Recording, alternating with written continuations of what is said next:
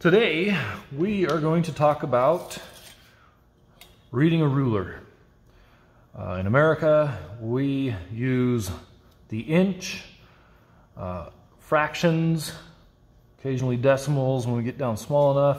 The rest of the world uses the metric system, much, much easier in my opinion. If you know how to count by tens, uh, most of us have 10 fingers, so not too hard to figure out the metric system. This side of the ruler though, we need to know how to use fractions.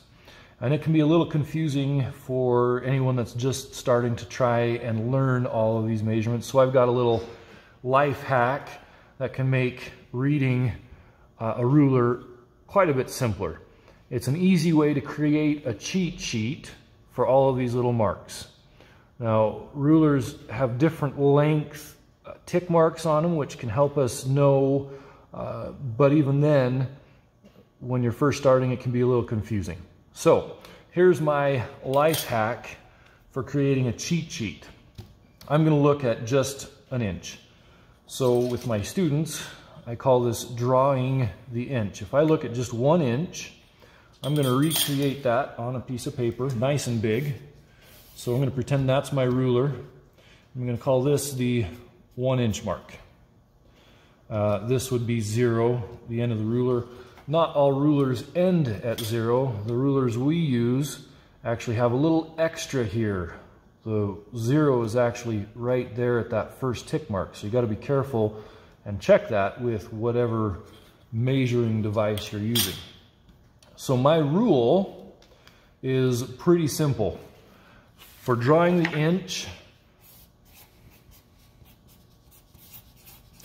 you need to remember two things.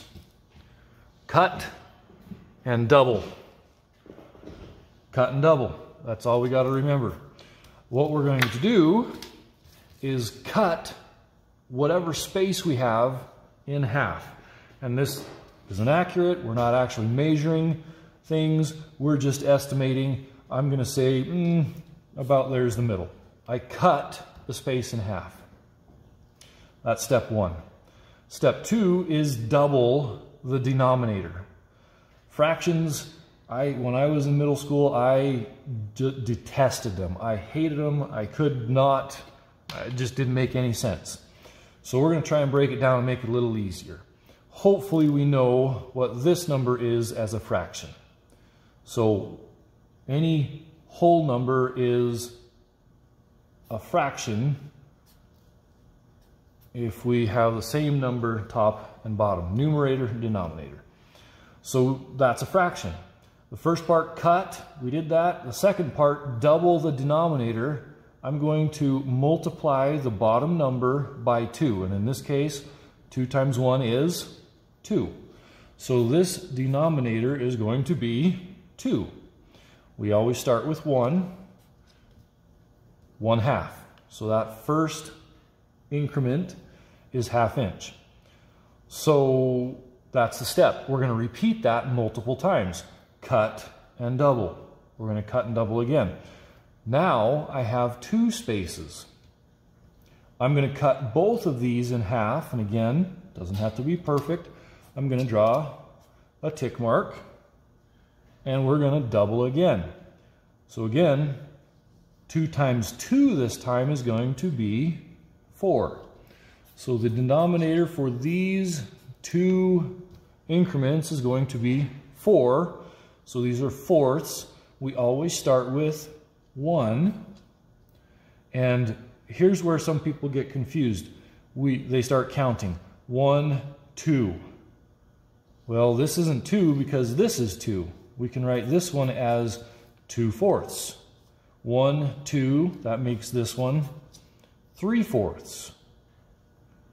1 fourth, 3 fourths. We could also write this as 4 fourths.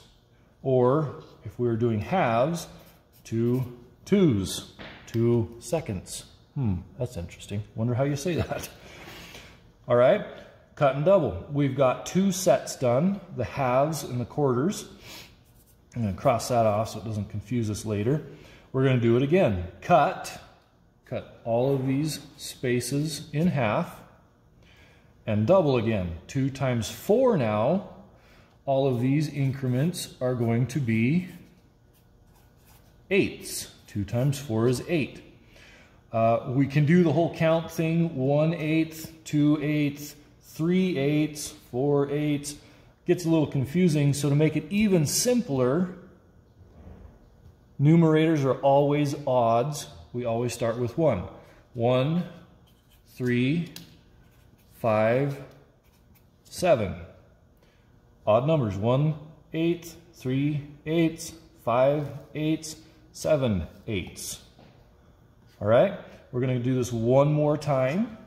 Cut all of those spaces and double. 2 times 8 is going to be 16. I'm kind of running out of space unless I write it real small. I'm just going to write the 16ths up on top. If I do this, I got to be really careful that I don't mislabel one of the tick marks that's already been labeled. 16th, 16th, 16th, 16th, all the way across to here. And again, odd numbers, starting with 1, 1, 3, 5, 7, 9, 11, 13, 15 sixteenths. Now we have a hack. I can look at my ruler and if I'm measuring something, let's say is right there, well, I can go over, so it's one of the longer, so one, two, three, one, two, three. All right, so we're, this measurement would be six and three eighths inches. This is a good way to practice, learn what the fractions are, where they go on the ruler and how they relate to each other. Kind of a neat calculator too that you can use to reduce fractions if you were to write in all of the other ones. For example, if we had put all these sixteenths in, this would have become 6 sixteenths, but we can reduce that 6 sixteenths down to 3 eighths. Same with uh, this could have been 8 sixteenths, but that can be reduced all the way down to half an inch. Now, a couple of things I would like to point out. Remember, the numerator, the top number on every single set is odd. The bottom number, the denominator on every single set is even and they're doubling. We go 2, 4, 8, 16. We could figure out the next set pretty easily. The next set would be 30 seconds. We could go all the way across. Uh, then 64ths. Some rulers do go down to 64ths. After 64ths, uh, usually we switch to decimal and, and thousandths of an inch. But uh, we could do 128ths, 256ths, 512s, 1024ths, uh, and continue that way, but nobody really measures with a ruler like that. So, uh, quick and easy way you can check your work as well. Uh, if we look at the last number or last fraction in each set, you'll notice something. We've got that one, that one, that one, and even this one, even though there's only one number in that set. Last number in this set, 15 sixteenths. The numerator is one less. 7 eighths, numerator is one less. 3 fourths, numerator is one less.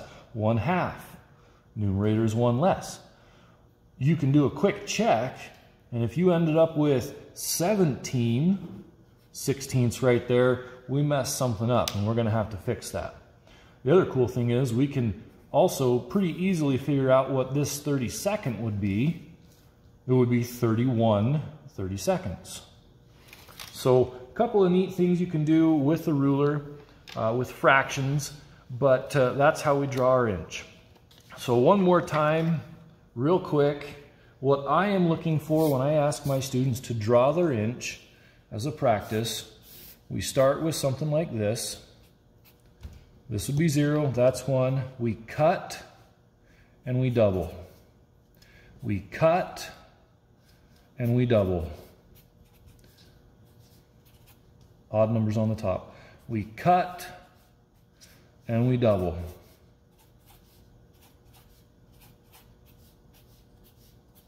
Odd numbers on the top.